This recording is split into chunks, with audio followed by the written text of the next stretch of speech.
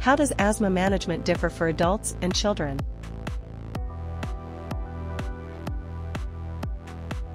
Uh, what is the basically management of asthma? The when we identify the asthma, usually the patient uh, go for the PFT test, where we will see that they have a uh, hypersensitivity response and they respond to the initial steroids. And uh, for them, the maintenance therapy and the treatment course are different.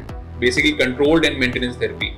For the control, we go for the inhalational steroids, bronchodilators, even a shorter duration of steroids are oral steroids are also indicated in those cases when the severity is more.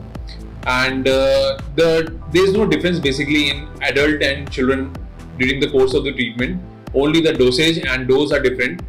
And uh, as per the new treatment guidelines also uh, there is a smart therapy also that we don't have to go for the different inhalers we have only one uh, drug that can be used both as a controller and the uh, maintenance treatment